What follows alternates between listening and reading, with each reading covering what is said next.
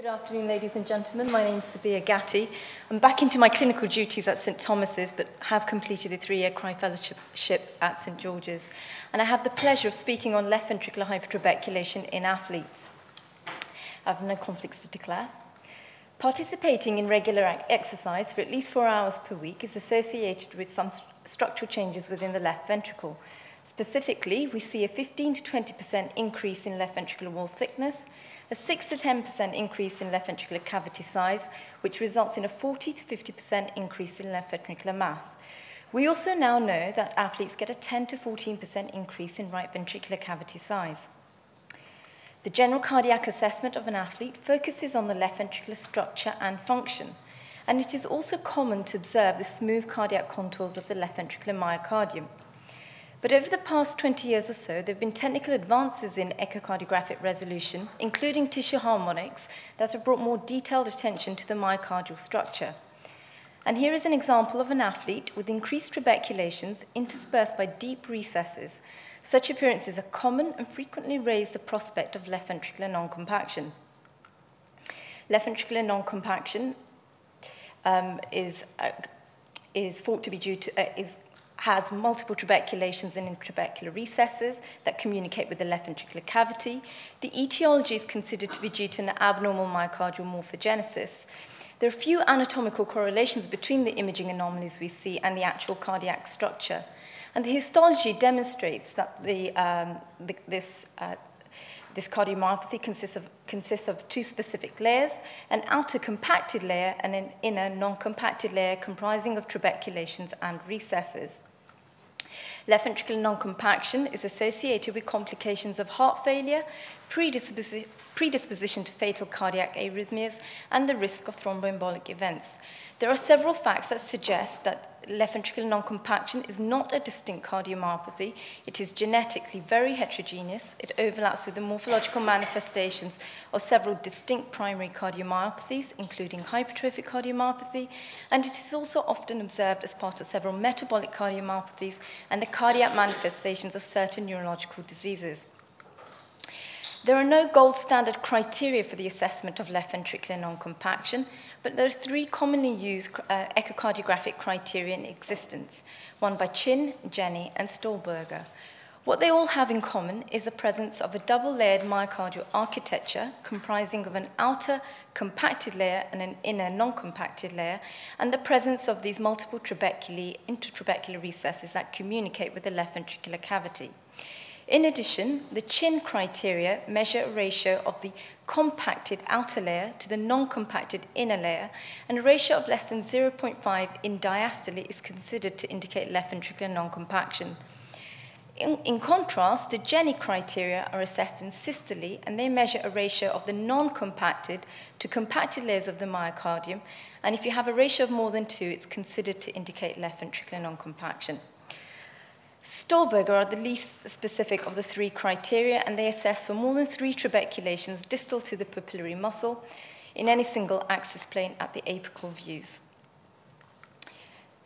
There are some concerns regarding the current diagnostic criteria. They were based on small cohorts. They were not prospectively derived. They were not validated properly in patients with cardiomyopathy or those with left ventricular non-compaction. The measurements were taken in different phases of the cardiac cycle, and the sites of measurements are variable. They're oversensitive in certain populations, including the black population, and non-specific in low-risk populations, as I will present later. And based on the pediatric population, the prevalence is thought to range between 0.014% and 0.3%. And here are examples of the non-specific features of the criteria in various groups. If we take a look at patients referred for echocardiography in a normal hospital, then 2.2% fulfill features of left ventricular non-compaction. If we take a look at African Afro-Caribbean controls, from our experience, 8% exhibit increased tuberculations. Patients with a sickle cell anemia that is associated with an increased cardiac preload 8.1% fulfill features of non-compaction.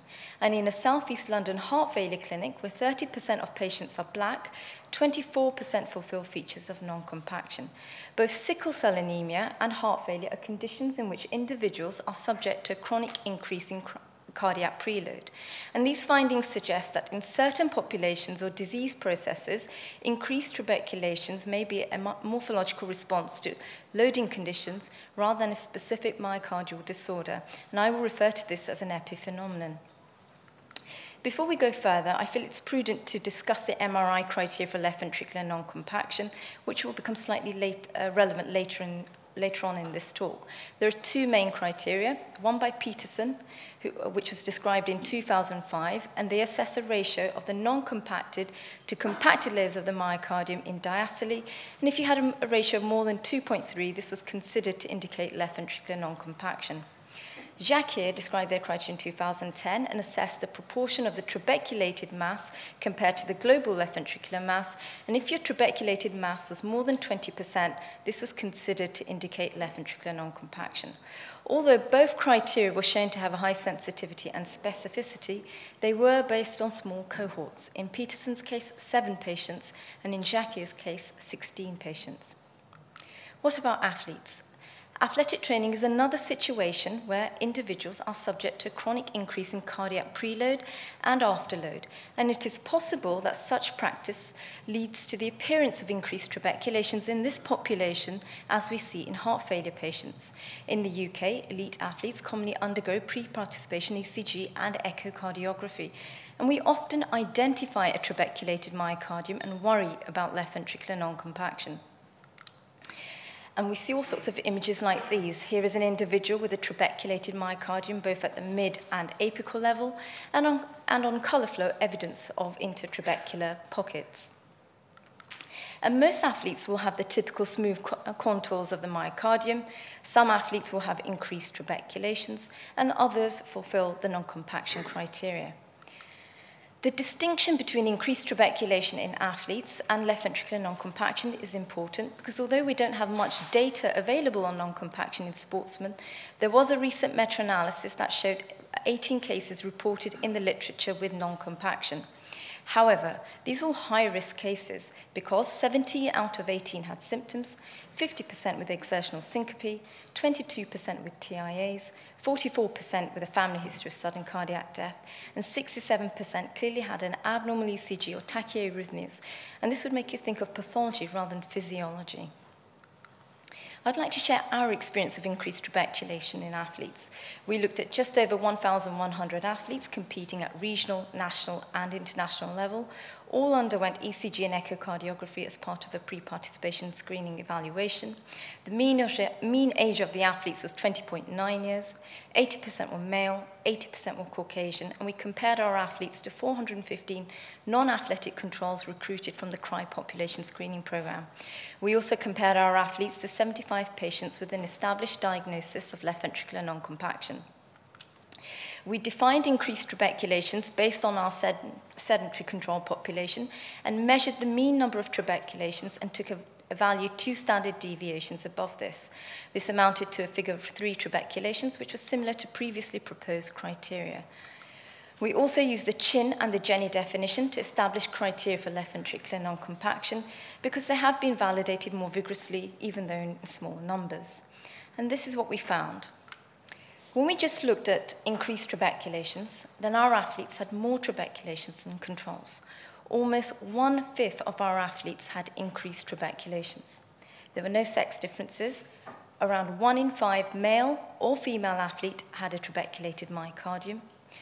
Left ventricular trabeculations were more common in black athletes compared with Caucasian athletes.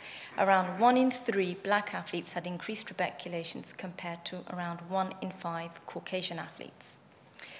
What about the criteria for non-compaction? 8.1% of our athletes fulfilled both the Chin and the Jenni criterion for left ventricular non-compaction, and this included 11% of black athletes and 8.4% of Caucasian athletes. In contrast, none of the controls fulfilled the criteria for left ventricular non-compaction. The fact that 1 in 10 athletes fulfills the non-compaction criteria would make you think of an epiphenomenon rather than a disease process. When we compared our athletes fulfilling criteria to those that didn't, there was no age, sex, or ethnic predilection. There are no differences in body size or hours of training. There are no differences in echocardiographic parameters, including indices of diastolic function. However, athletes fulfilling the criteria did show a higher prevalence of T-wave inversion compared to those that didn't. When we compared our athletes fulfilling the criteria to patients with left ventricular non-compaction, then two-thirds of the non-compaction patients had symptoms of heart failure compared to none of the athletes. Patients with left ventricular non-compaction had uh, T-wave inversions in the infralateral leads, and patients with left ventricular non-compaction had significantly reduced ejection fractions with a mean of 46%, as well as reduced indices of systolic and diastolic function. However, this slide is slightly worrying. When we looked at our athletes who fulfilled the criteria for non-compaction, then almost 1% of our athletes fulfilling criteria had associated reduced left ventricular systolic function and marked repolarization changes. This grey zone of athletes consisted of 3.4% of black athletes compared with 0.5% of Caucasian athletes. And this is the grey zone. When we looked at all 10 athletes in the grey zone, two things came out. One, 80% of these athletes had T-wave inversion in V1 to V3, but never in the lateral leads. And two, the ejection fractions ranged from 45% to 50%, but never, never lower than 44%. Furthermore, indices of diastolic function were normal in all 10 athletes. This is a typical example of an athlete in the grey zone. We have an athlete with anterior T-wave inversion, who fulfills features of non-compaction on their echo with a slightly reduced ejection fraction. When we tested all 10 athletes further, on stress echocardiography, our athletes' ejection fractions improved significantly, all demonstrated high peak VO2s, and there was no evidence of arrhythmias during exercise or on Holter monitoring. When we MRI'd all 10 athletes, all fulfilled the Petersen criteria for non-compaction, and there was no evidence of gadolinium enhancement. So the question, ladies and gentlemen, is what is the significance of increased trabeculation in athletes? Our group's view is that one in 10 athletes have it, and this is in, and in the vast majority, this is likely to represent an epiphenomenon due to a chronic increase in cardiac preload. 1% of athletes may fulfill a triad of the non-compaction features with associated T-wave inversion and reduced left ventricular systolic function. And as things stand, there isn't enough data to enable a diagnosis of left ventricular non-compaction in this group. However, there are certain markers that may favor a pathological process over physiological adaptation. The presence of symptoms or a family history would favor disease. Reduced uh, longitudinal function would be of concern, as would low peak VO2s.